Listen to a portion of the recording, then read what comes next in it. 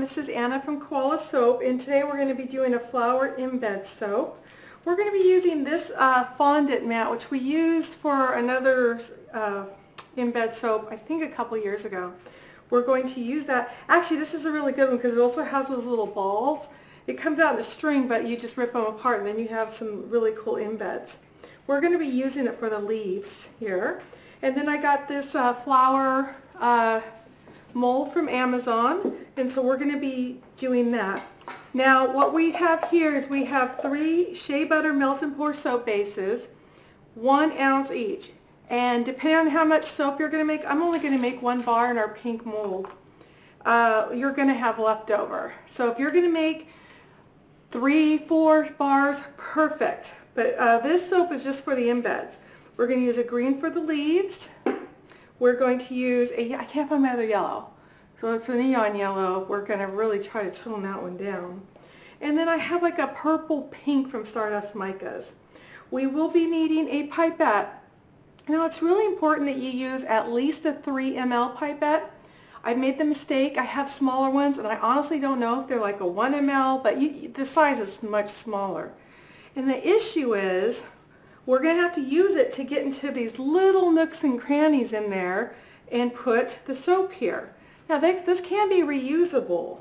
You're just going to take warm water before it really gets dry and you're going to squeeze it down and out of the tip and then you can kind of use it over and over again. So it's not a one and done. Now sometimes after lots of use these will split here but they come in packs of 150 or 300 so um, but you can make one last a long way.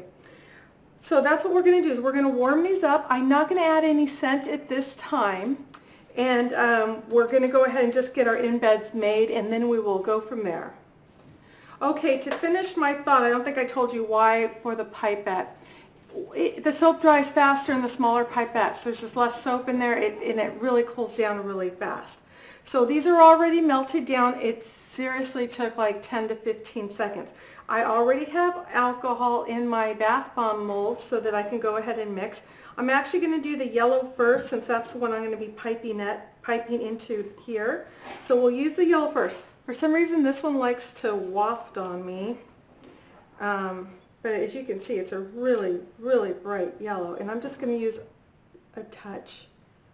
Just a touch. I just need enough to get a little bit of yellow in the soap. And I'm actually going to move it away from me because I'm not sure what happened. I don't know if it got, see it's all over my hands. Um, I don't know if it just got dropped or if the cap was loose at one point or what when I was doing a resin project. I don't know.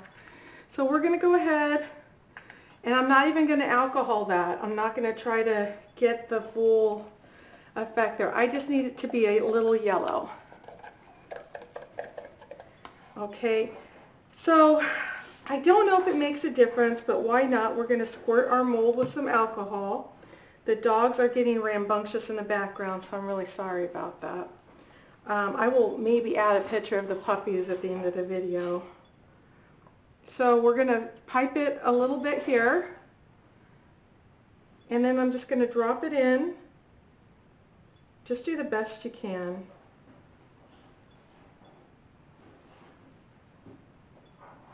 Okay? Like I said, didn't even need the whole thing on this. And then we're going to go ahead, I'm going to stop the video. Well, actually, I guess what I'll do is I'm going to try and run my fingers through it now, as you can see. And then I'm just going to be using this for yellow from now on. I have no scent in it, so it should be okay. So we're going to keep that. We will squirt this with alcohol in case there's any bubbles. This could, I, I can already see I got a drop um, over here. And I'm not sure if I can take a paper towel and get that out. I'm going to try. Um, I think for this soap it really doesn't matter too much.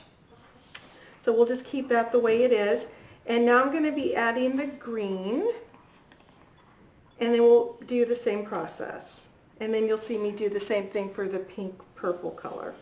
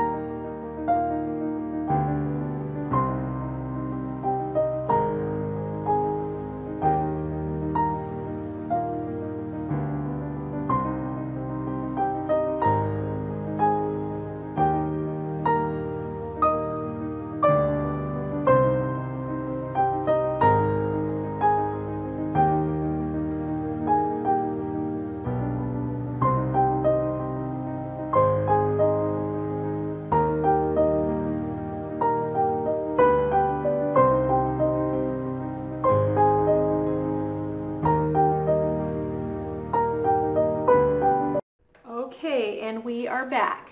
I have some crystal clear melt and pour melted down here. I only have about two and a half ounces um, because I have, I also have these like little orange flowers. So let me show you how the leaves turned out. There. And then the pink, pink purple, is that what we called it? Pink purple hearts? I don't know if you can see it with my glove. Or flowers, sorry. Okay. So these are now at room temperature. You want to make sure that they're not too hot. I don't have the new set of leaves done yet for these flowers here. Um, I did want to show you that all you do to clean out the pipette is you run hot water on top of it. You do not need to put water inside of it. Um, so you run hot water on top of it and then you squeeze it out like this and then it comes right out. So this is the same pipette. I've used them for both of these already and they've, they've worked great. So what we're going to see is we're going to kind of see what the temperature is. Let me see if this, I don't know if I got my, yeah, this is it. Let's see what we're at here. So 151. So a little too hot to pour. I like to pour, if I'm going to do embeds, um, under uh, 140. So we're still at 150 right now. So when I come back, this will be under 140. Um, and then we'll start just putting the first layer of embeds in. Okay, we are now at 140. You have to be careful though, because once this gets too cool, and then it starts to have skins in it. So I guess we'll try here in the middle one because I think that's the one you can see the best in. We're just going to pour a very thin layer, just enough to cover the bottom. In the same here. We're going to have a little soap left over. That's fine. We're going to use it all. There's a little, there we go. There was just a little place there that wasn't covered. So the first thing I'm going to do is I'm always going to put the flowers in first. Oops. Or drop them in first. Now these pink molds will hold all six of the flowers in that other mold. And of course, as you always, links to everything I'm using are on the bottom in the description. You know, but I think I'm only going to use five of them. So make sure that these are covered with alcohol. And they should stick quite nicely in there. They're slippery though.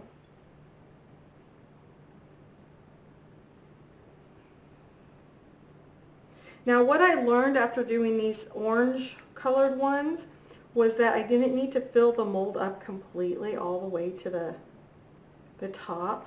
As you can tell, you probably can't, but these are much bulkier than the other molds. Okay, so one more squirt.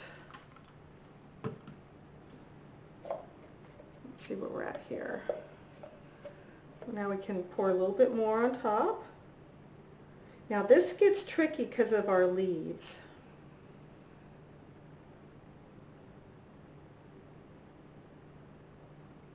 There, you see we used it all.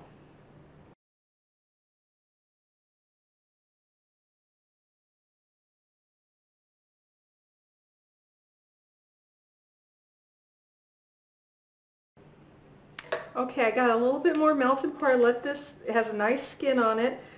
Some of these leaves are still very mobile, meaning it hasn't adhered at all because the, the layer wasn't high enough, and that's fine. When you're pouring, you need to be very slow because what can happen is if you pour really fast and you have something like this which can move around really easily, you can actually get an air bubble stuck under there.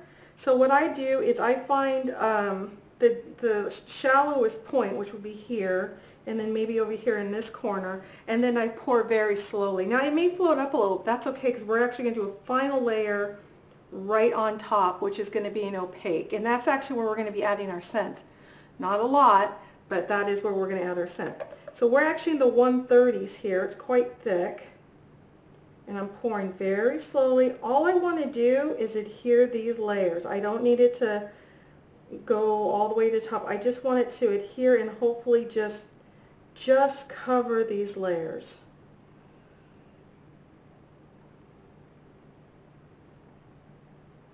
Make sure you can see that you have a, like maybe, it looks like I have maybe less than a quarter of an inch, oops, I said I was going to start here and I started over there. You just want to make sure you have enough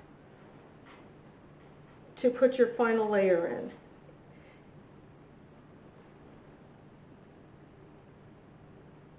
So it looks like I have maybe, maybe 3 eighths of an inch left. So very important, spray with alcohol. And that's not to adhere those flowers, that's more just to get rid of the bubbles. We want this to be as clear as possible. So, so far so good. We're going to go ahead, um, the reason you want to make sure these are at room temperature or some people will put it in the refrigerator or freezer is because you want to make sure that this is still at 130, 140. That's, that's still hot. If these are still warm on the inside, even though they're hot on the outside, you saw my Easter egg soap disasters. And what happens is it will start to melt as it's setting just because the warm on the outside and the heat in the inside, it just starts to, to bleed out. So we're going to go ahead. I'm going to actually pour this extra little clear here because we will use it for something sometime, knowing me. Another experiment. I'm not even going to spray alcohol on that because I will be remelting it down. We're going to let this go ahead and set. And then um, I'm not quite sure what color background I'm going to use on this. I guess I can just use maybe, I don't know, I'll decide when, when we come back what color I'm going to use in the back and then uh, we'll go ahead and pour our final layer. Okay, so we'll be back.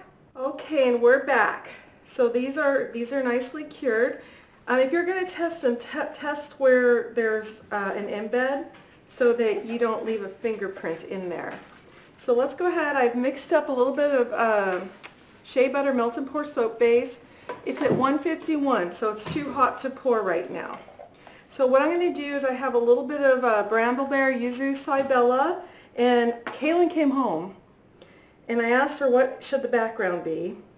And she said she thinks maybe a pink um, in an opaque. So let's just do it just because uh, it was kind of hard for me to figure out what I should do with this.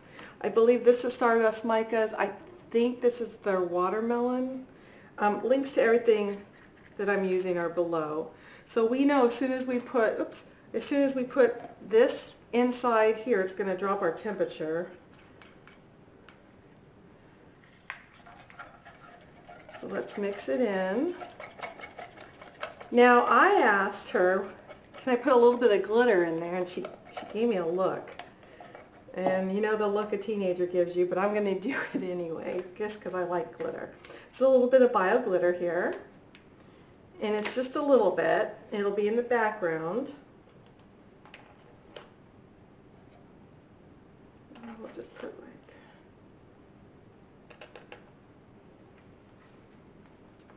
Okay, we'll stir that up. It's probably going to get lost in this because usually the glitters will show up much better in um, the glycerin soap, so I don't even see the glitter, but, oh no, you know what? The base, I don't know if you can see it, the base is sparkling. It's just that you don't actually see the glitter flakes. Perfect. That's fine. Let's see what we're at right now. 131, we're good to pour, but first we have to take a skewer or something sharp and wherever there's an embed, so that you don't see through it, go ahead and make some hatch marks. This will allow the soap to adhere to this soap so you don't get a separation. So if you can see, I'm just doing hash marks over designs so that people will not see that. And don't forget your alcohol. I'm using a 91%. 91% or higher when you're going to adhere layers. We're at 131 and we're going to pour slow.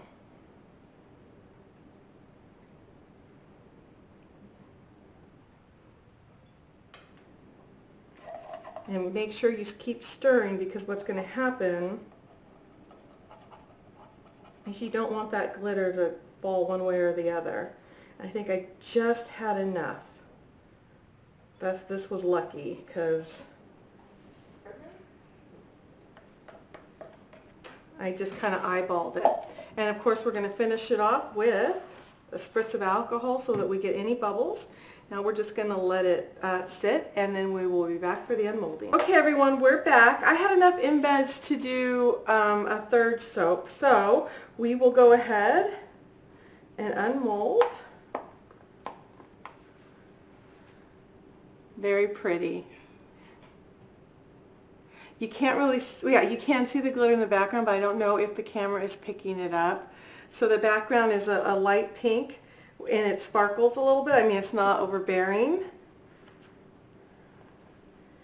And these were like the more orange, pastel orange ones, but with the same background. Very nice. And then I wanted to do a third one, and I wanted to see if no background would make a big difference. I'm wearing gloves because I'll get fingerprints all over these. To get fingerprints off the soap, you just squirt it with a little bit of alcohol, real light paper towel, and wipe it. I thought I would just avoid that and just wear some gloves, and that's really pretty. That is a cute soap. Okay, and really when they're down, I don't know that you can really tell a big difference because these have the same color flowers. So, I don't know. Can you tell? This one has the background, this has none. Okay guys, I hope you like this soap and we will see you next week for another soap. Have a good day.